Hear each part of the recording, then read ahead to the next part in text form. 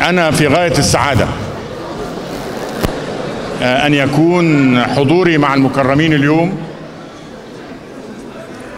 هو حضور مع من زاملتهم سنوات طويلة.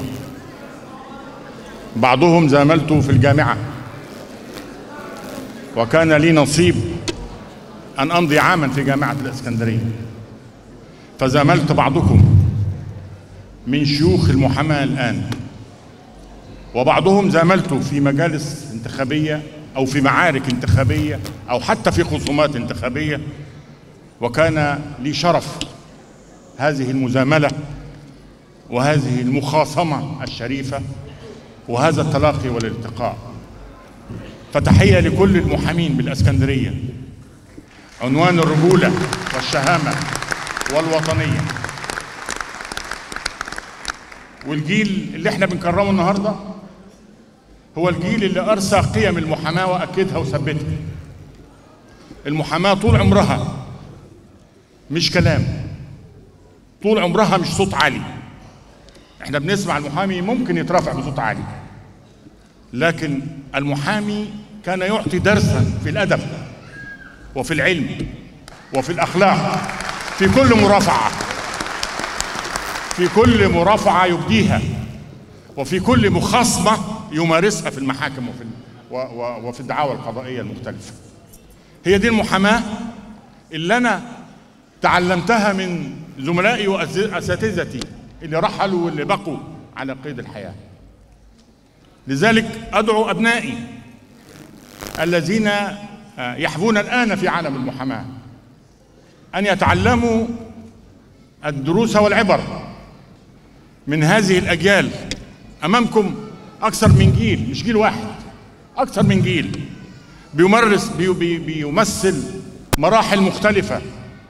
ليس فيه مقدم ولا مؤخر. ليس ليست الأسبقية لمن يتلى فيه اسمه اولا ولا رقمه اولا ولا صفه اولا.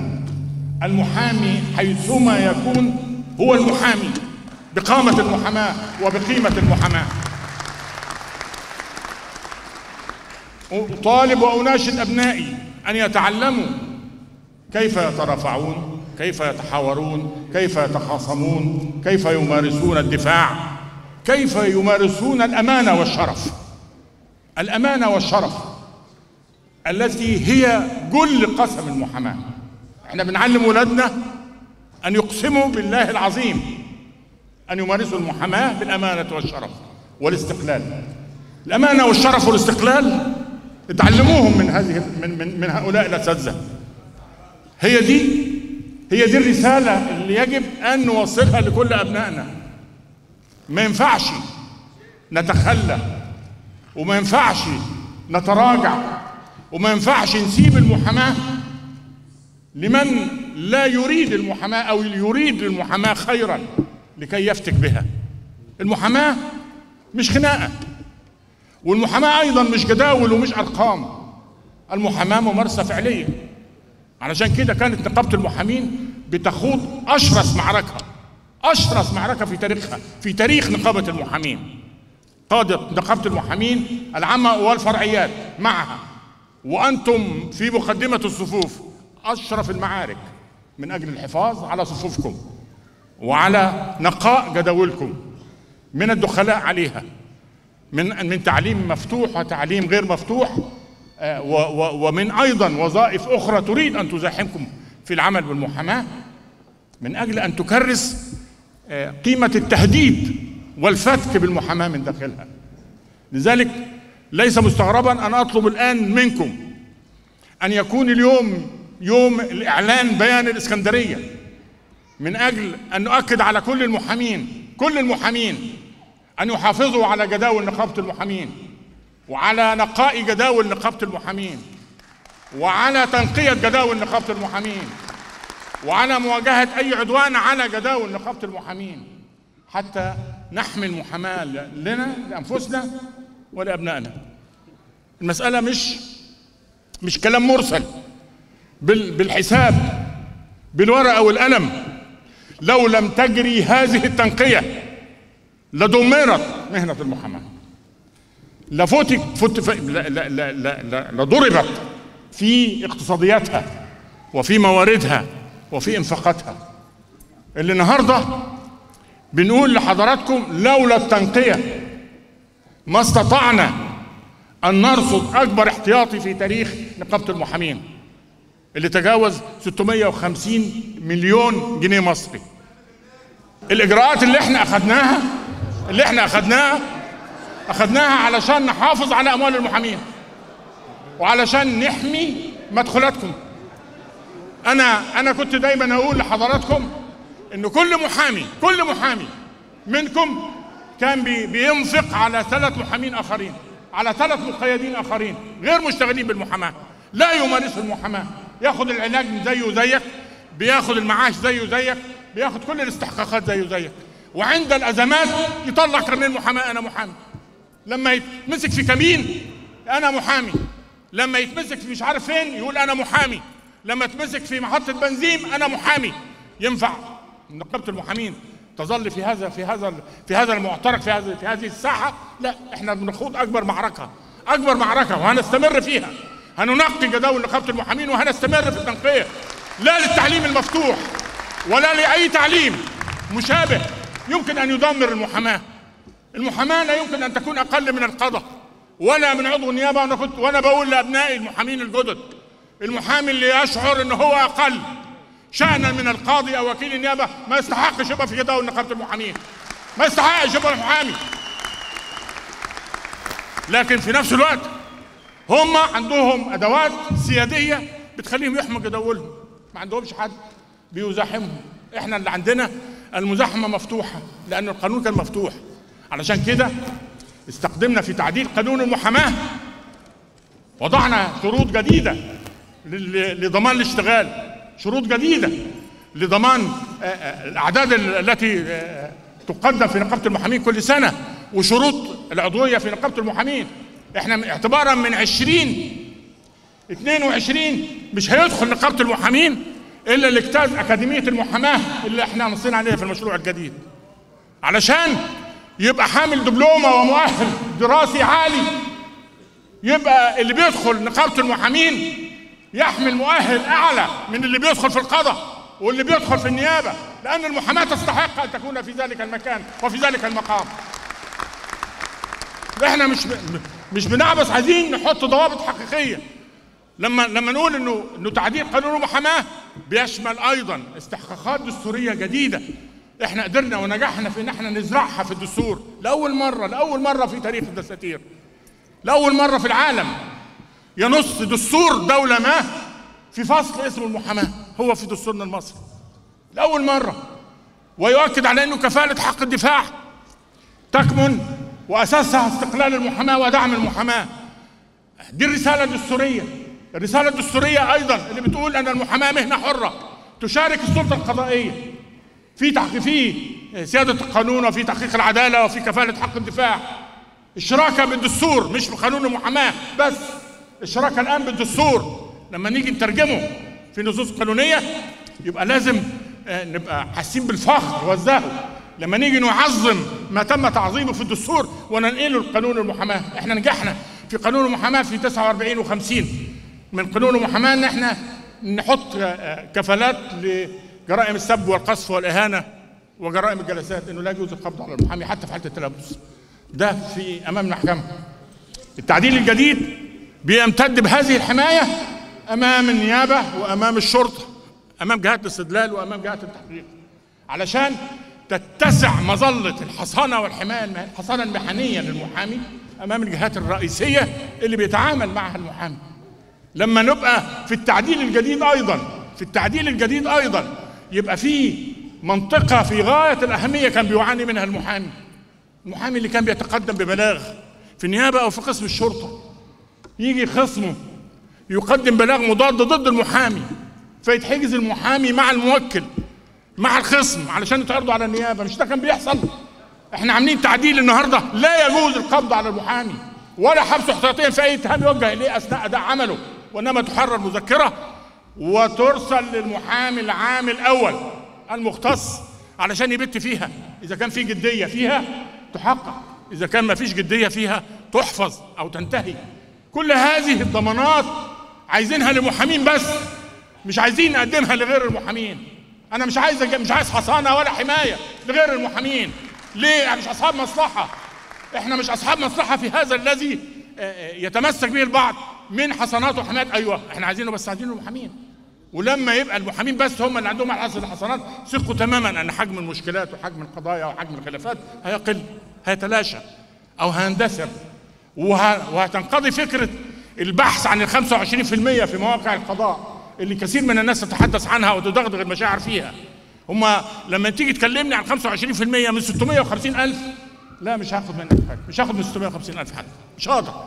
إنما لما يبقى عندك 100 ألف مفروزين 100 ألف حقيقيين مشتغلين آه بيجري البحث من خلالهم والمحامين ساعتها مش هتقبل تشتغل في القضاء لأنها هتجد مصادر رزقها وشغلها الحقيقي لأنه قضية توزيع قواعد السوق والعرض والطلب بتتحسم بتتحسم لما لما يبقى العدد قليل إحنا إحنا إحنا بيحكمنا إيه؟ أصحاب الخدمات القانونية بيعرضوا خدماتهم. طيب إذا كانت الخدمة اللي مطلوبة العرض أكثر من الطلب بيقل قيمة المعروض مش كده دي قواعد السوق.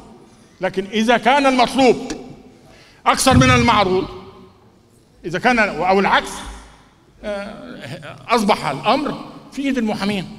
إحنا النهارده داخلين أيضا على تطبيق نص في الدستور هيمنع التحقيق مع مع المتهم إلا بحضور المحامي. بيمنعه تماما. ده في الدستور المادة أعتقد 6 35 أو 54 مش فاكر رقمها لكن يبلغ كل مقبوض عليه يبلغ ده الدستور يا إخوانا يبلغ كل مقبوض عليه. بأسباب القبض عليه و... ويمكن من الاتصال بذويه هو محامي محامي ولا يبدأ معه التحقيق إلا بحضور محامي. ولا يبدأ معه التحقيق إلا بحضور محامي. ولا يحاكم أمام محكمة الجنح أو الجنايات. الجنح أو الجنايات إلا بحضور محامي. ده معناه إن حضور المحامي هيكون وجوبيا أمام محكمة الجنح وجوبيا. بمعنى إنه الموكل اللي ما عندوش هيضطر يوكل محامي أو يندب له محامي. يعني ما فيش محامي مش هيشتغل. ما فيش محامي مش هيشتغل بمقتضى هذا النص. لكن ده بيجري الآن في قانون المحاماة. ترتيب هذا النص أيضا مع مع قانون الإجراءات الجنائية الجديد اللي إحنا ساهمنا فيه وساهمنا في إحداثه وساهمنا في تطويره. علشان نؤكد قيمة المحاماة والمحامين. علشان الأجيال اللي جاية دي تبقى في مستوى الشيوخ اللي إحنا بنكرمهم النهارده.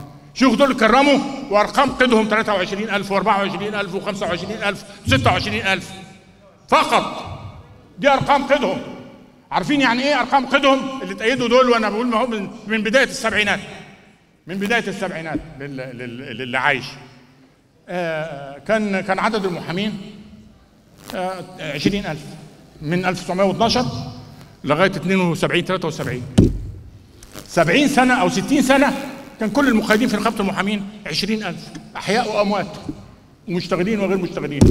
النهارده الأرقام عندي 650000 ده كلام غير منطقي وغير طبيعي. واللي يقبله يبقى يبقى بيدلس على المحاماة. واللي بيقبله علشان أسباب انتخابية يبقى بيضيع المحاماة. وبينافق. من أجل أن يحصل على أصوات لا تمت للمحاماة بصلة. أصوات تطلع من البيوت تصوت وتمشي. أصوات تبقى في الثلاجات علشان تؤدي دورها في العملية الانتخابية. النهارده هيبقوا المحامين بس هم اللي هيختاروا من يمثلهم بس من غير تدخل من حد. هو ده اللي إحنا عايزينه ولا أنتوا عايزين حاجة تانية؟ هو ده بالتأكيد اللي إحنا عايزينه. هو ده بالتأكيد اللي إحنا بنسعى اليه فأنا أرجو أرجو من حضراتكم إنكم تتفهموا قضية في غاية الأهمية بتثار الآن في التواصل الاجتماعي. يجي حد يقول لك في محامي دخل المستشفى والنقابه مش عايزة تديله جواب. طيب نبحث في الموضوع نجد إنه ما جددش من 16 طيب مش مش من حقي أنا كنقابة إن أنا أستوثق من اللي هقدم له الخدمة وهدفع له الفلوس إنه فعلا محامي؟ ولا بس؟ لأنه في ناس من الفيس تعرفه يبقى النقابه مجبرة إنها تدفع. لازم نتأكد. اثنين محامي هديكم مثال لمحامي. ما دفعش 19 وما عملش بطاقة العلاج. لكن اضطرته الظروف الصحية إنه ده ده بالتأكيد محامي مشتغل. يعني في حد أدنى من الاشتغال. 18 مسدده. قلنا خلاص يعامل معاملة المحامي اللي اللي اللي, اللي استخرج بطاقة علاجية. وندي له جواب بالقيمة المستحقة للمحامي اللي عنده بطاقة علاجية. هل هو اصل الظروف محتاج أكتر. تجاوزنا وخدنا قرار من هيئه المكتب بزيادة المبلغ 10000 جنيه. طالعين تاني في الفيس يقول لك لا لازم نديله كمان. يعني إيه نديله كمان؟ ما أنا ما, أنا ما أنت مش مطلوب منك إنك تجامل صديقك أو زميلك أو اللي أنت بتتعاطف معاه على حساب زملائك. أنت أصلا نصيبك في في الدعم بتاع النقابة جنيه واحد على على الأكثر كمحامي. إنما باقي المحامين باقي المحامين اللي هم هيدفعوا من نصيبهم ما قالوش إن إحنا هنفرط في نصيبنا. مين مين المسؤول عن عن حماية هذه الأنصبة؟ النقابة. أنا مش من حقي أتجاوز. ومش من حقي أدي حد أكتر من حقه. مش من حقي إلا في ضرورة قصوى وعند حد معين. علشان ندرك أمر ما. لكن ما فيش محامي في الدنيا ما معهوش أهل ومعهوش أصدقاء ومعهوش زملاء. طب طب أقول أنا لحضراتكم كده؟ طب كل اللي بيكتبوا على الفيس علشان هذا أو ذاك. طب ما تتبرعوا من جيبكم خاص ما تساهموا مع الزميل المحامي. ما هو ما فيش نقابة في الدنيا. نقابة في الدنيا بتدي اعضائها كل اللي يستحقوه في العلاج. محدش يقدر يعمل كده. ولا في رئاسة الجمهورية يقدر يعمل كده. في حد في سقف معين بيتاخد عند عند مستوى معين إحنا بنؤديه لكن نتجاوز ده تجاوز ده معناه إن أنا بأميل إلى نصيبك. اللي أنت مش مدرك إنه من اليوم في يوم من الأيام لو أنا خلق ما يعني صايرت هذا التجاوز هيجي يوم مش هقدر أكفي العلاج الحقيقي لمحامي حقيقي. آه نصيبها هيبقى راح هيبقى توزع على تجاوزات لبعض خمسة ستة عشر عشرين خمسين. إحنا إحنا ما عندناش ما يعني ما عندناش دوافع لحرمان حد من خدمة العلاج في نقابة المحامين. ولا يمكن أن يكون هناك سوي يكره أن يحمي كل محامي وأن يسدد ما عليه من استحقاقات لكن أيضا في حدود ما هو متاح. في حدود ما هو موجود من قوم. يا إخوانا لازم تعرفوا إن أنفق على العلاج في نقابة المحامين. حتى الآن من يناير 1 يناير حتى. اليوم 100 مليون جنيه. وإحنا في, في الأربع شهور الأولانيين 100 مليون. يعني في الثلث الأول. الثلثين التانيين ممكن يتجاوزوا أكثر من ال 100 مليون كمان. طب يبقى يبقى إحنا دخلنا في مرحلة خطر. يبقى هنبقى في خطورة. آه صحيح الادويه غليت والعلاج غلى والمسألة غليت لكن إحنا كمان ما زودناش حاجة. إحنا ما زودناش حاجة على على المحامين. فما زال الاشتراك هو الاشتراك وما زالت قيمة العلاج هي قيمة العلاج. لكن كمان نضيع حقوق الناس لا مش هنسمح بتضييع حقوق الناس. اللي إحنا بنعمله الآن في نادي الإسكندرية هو مش ده مش ده بيترجم إلى ملايين من الجنيهات. ملايين من الجنيهات دي لازم يكون لها رصيد يغطيها علشان نقدر نصل وإحنا الحمد لله ماشيين في هذا الاتجاه. ما فيش ما ما رصيدها كافي ومؤدي ومش ممكن نتخلى. لا عن محامين اسكندرية ولا على نادي اسكندرية مهما كانت المزايدة على على نادي اسكندرية. إحنا مش مش إحنا مش إحنا اللي ناثر في حق محامين اسكندرية. لكن كمان في ظروف. أنا أنا ببني مبنى نقابة المحامين العام شغالين فيه بنفس الطريقة. نادي المحامين أو مقر نقابة المحامين في المنيا. نادي المحامين في أسوان. كل ده شغال على سبيل التوازي. توازي مع كل اللي إحنا بننفق فيه الآن. مع كل اللي إحنا بنؤديه الآن. أيضا لازم تبقوا واخدين بالكم كويس من زيادة المعاش. زيادة المعاشات التي لم تكن في ذلك ال ال ال الرقم في تاريخها. إحنا إحنا وصلنا للحد الأقصى آه 2000 ومعاش دفعة واحدة 100 100 100000 جنيه. عند الوفاه والعجز والعجز الكامل. لكن كمان إحنا زودنا المعاش القديم المعاشات القديمة كلها زادت. زادت بما لا يقل عن 30% من قيمتها اللي موجودة. رغم وده خدناه لأنه المحامين قبلت هذا إحنا عرضنا كمجلس نقابة على المحامين. قالوا إحنا موافقين نزود كل ما إحنا زودنا كل الأرامل. 100 جنيه في الشهر. دي زيادات للمعاشات القديمة. مع زيادة دورية مع زيادة دورية كل كل سنة بدأت ب 10 ثم 5 كل سنة 5% كل سنة. في زيادة. إحنا النهارده بنقدم خدمة خدمة معاش مش موجودة في أي حد. هذا الرقم مش موجود في أي معاش لأي نقابة مهنيه أخرى. تحت أي ظرف من الظروف مش موجود. وقابل للزيادة. ده مش معناه إن إحنا خلاص وصلنا للحد الأقصى. أنا بقول لكم وبطمنكم إنه السقف اللي وصلنا إليه الرصيد اللي إحنا الاحتياط اللي إحنا وصلناه في نقابة المحامين إلى إلى رقم 650 آه 650 مليون جنيه ده بيطمئني إلى إنه مع التطبيق الجديد للدمغة الإلكترونية الجديدة أنه هتتضاعف قيمة ال- المدخول بتاعنا. إحنا كانت المحامين كانت المحامين بتحط دمغة مزورة مضحوك عليها من البائعين من اللي واقفين من المتاجرين. وكان في بعض الناس بتتواطى على نقابه المحامين. وت- وتقبل وهي تعلم إن قيمة الدمغة اللي بتشتريها وهي مزورة أقل من قيمتها الحقيقية. هو يعلم بذكائه الفطري إنه ده إنه ده إنه ده غش. ومع ذلك كان البعض بيستخدمها والبعض بيوزعها وبيروجها على العمال وأمام لهفه المحامي وأمام المحامي عايز يخلص شغله يحط دمغه المحامي. النهارده خلاص تقريبا غطينا الجمهورية. هنشوف هنشوف رصيد تاني مختلف. لكن نسبة الشركة هي ذات النسبة المقررة. ما فيش أي زيادة. على فكرة إحنا عملنا عقد في لا يمكن لأحد. إحنا أعلناه. ده إحنا قلنا إنه نسبة الشركة في المية وخمسين مليون جنيه. الأولانية صفر. شركة بتاخدش ولا مليم. من 150 مليون. اللي يزيد عن كده 5% هات لي هات لي حد عمل كده. إحنا إحنا لينا 5% من صفر. من واحد من جنيه واحد لينا 5% العامل اللي بياخد ب 10 جنيه بياخد 5% الموظف اللي في المحكمة بياخد 100 جنيه بياخد 5% أنا 5% دي له بعد ما توصلني الشركة دي الرقم 150000 فين فين ده؟ في في أي في أي تعاقد موجود. في حماية أكتر من كده؟